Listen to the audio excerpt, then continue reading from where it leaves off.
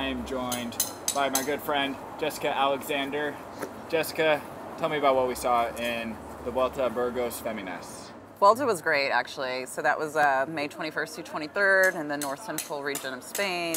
Uh, pretty great racing out there. Um, first multi-day women's event of the UCI calendar this year. Yeah, that is something that you brought up. I cannot actually believe that this is the first stage race that the women have had at the World Tour level in 2021. It's pretty pretty incredible. There are a couple more that are coming up later in the season, but you know that's that's a point that we should um, you know at least mention that the women have been you know I think disproportionately harmed by the coronavirus pandemic, having some of their standalone events canceled, essentially canceled or postponed, while uh, women's World Tour events that are tied to men's World Tour races have had a better chance of survival. There is a men's Vuelta Burgos that is coming up later in the season, which we have on flow bikes, but it was really, uh, you know, silver lining to see them introduce this World Tour women's race this year and, uh, yeah, give the women a chance to race multiple days in a row at the highest level.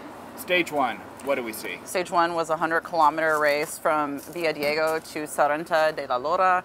Um, there is a 10K Category 3 climb at the end of the race. Bicycle Exchange racer and upcoming Olympian, actually, um, Australian Grace Brown ended up winning the stage after a three-person breakaway with Heidi Franz, uh, up-and-coming New Zealand racer Niamh Fisher Black, as well as Swiss national champ Elsie uh. We did have Franz take the KOM points. Yeah, and this is uh, kind of a theme that we saw throughout the entire week. North American women were represented very well. They put on a show for us, but there was a lot of heartbreak in the finish of the stages. They just could not manage to pull off a stage win, try as they might. But it was exciting racing for North American fans, kicking it off with Heidi Franz, uh, the American race, racing for rally cycling. It was heartbreak for her in the finish. She got swept up just in the final kilometer. Grace Brown, however, was just, She's the strongest. She, she, she, was, she was just the strongest person on the road. She managed to take the first win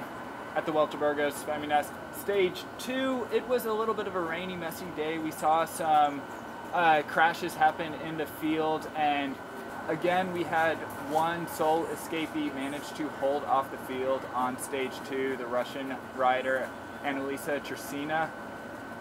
What we saw developing behind, though, was actually really interesting because it wasn't just the SD Worx team, it was their team leader, Anna van der Breggen herself, just really owned the chase behind. We saw Anna van der Breggen charging, yeah, charging, about 15 minutes in, she took charge. Um, there had just been a crash, I believe, with one of her teammates, yeah. and so it was really unfortunate because she took the corner so because fast. It was a fast corner, slide right out. Um, so yeah, in the end, it was very heartbreaking to not see her come into play. But the action that she made towards the last 15 minutes of the race is absolutely the best part to watch and catch up on. Yeah, and that really kind of is foreshadowing for what we're going to see at the finish of this race. Before we get there, uh, stage three was it, it, was a really cool dynamic course. We had uh, the the finish was really just highlighted by Kasia Niewiadoma and Uttrup Ludwig, two of the most exciting racers to watch when the road turns uphill. They just started sprinting with 500 meters to go on this finishing climb, and Uttrup Ludwig took a took a very very big win. She's kind of been, you know, there or thereabouts this entire season, but you you know, obviously a rider who wears her emotions on her sleeve. You could see how excited she was at the finish. Absolutely. Uh, a very exciting finish to this race. A 1K switchback climb to the finish. Uh, Van Breggen was riding very comfortably throughout the race and finished just behind this group of riders. Um, but yeah, absolutely, very strong race finish. Um, very exciting to see that great strong climb to the finish. Yeah, and again, heartbreak for the North Americans. Canadian champion Carol Ann Canuel was leading the charge, trying to hold off the field in the final kilometers, but they came back together at the base of the climb, and it was a day for Cecilie Ludwig. Worth noting that Anna van der Breggen, while she did not necessarily throw herself into this uh, just insane sprint that we saw between Ludwig and Niewiadoma, Anna van der Breggen was pretty, pretty easily just following wheels and managed to finish right behind those two with no time gap. That brings us to stage four, the Queen stage. Stage four, Queen stage, finished uh, featuring a final 11% climb. Um, to basically the finish of the race. So you were seeing a lot of really good tactics leading up into this final climb as we knew this was going to be our deciding and decisive moment for timing and uh, final GC classifications. Um, so Clara Koppenburg, the German rider, had a really great show for Rally, um, going up front in the actual final climb. Um, but yeah, it looked like SD Worx had some really good tactics that they used to kind of shred the peloton, close that gap, and then change the dynamics of the race in the final two kilometers. Yeah, and yet again, Claire Koppenburg, German, not North American, but we're going to slide her in there because she is racing for the rally uh, cycling team. And uh, her climb was phenomenal. She's coming back from injury. Seeing her, you know, try to hold off the peloton on this, you know, 12 kilometer finishing climb, she put up a hell of a fight. But SD Worx behind. They basically took a leaf out of Ineos's books. Absolutely. They, they, they lined it up on the field, and the damage that they did in the final three kilometers was they, they, they shredded the field, and it really came down to Demi Vollering, Anna van der Breggen's teammate, alongside Anna van der Breggen and Annemiek van Vleuten. Those three duked it out in the final kilometer, and the pain face that we saw on Oh. Annemiek van Vleuten when Anna van der Breggen, the world champion, hits the front of this field.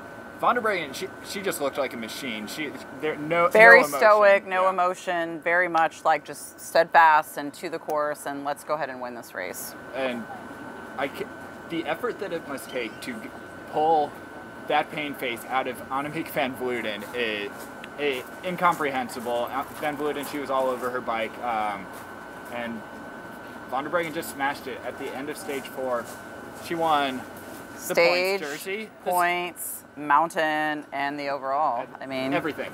She won everything. yeah, this is her, her ninth or tenth race of the uh, ninth 2021 race. season, Ninth race. and uh, ninth race total, and I think this is her fifth win. Yeah, yeah. So has won more than 50% of the races that she has started. It seems like she is honestly just getting stronger. The showing that we saw at the Vuelta Burgos, uh, what she put out on the last day, is it's pretty mind blowing. I've, I've said this, you know, kind of week after week. What we're seeing, this is supposed to be on a well, it is on Van der Breggen's final season. Final season, correct. Um, but the way that she is going out, I don't think that anybody could be more happy to see it. Uh, you know, what's what's coming up next is, of course, I don't know who's going to be able to beat Anna van der Breggen on the punchy, classic style uh, terrain that the women are going to face in Brittany, and then Anna van der Breggen's final race um, pretty soon after La Course is, of course, the Tokyo Olympics. Yep. Yeah. So what's going to be interesting about La Course is the, of course, the, the starting line, uh, starting setup hasn't been released yet. Um, Sharon Van Anrooij is listed on the Trek Seg- Segafredo team. Uh, Lizzie Deignan, who won last year, uh, unsure if she's going to be racing at this point. So that kind of leaves the, uh, you know, we'll see who wins if you know who shows up to race.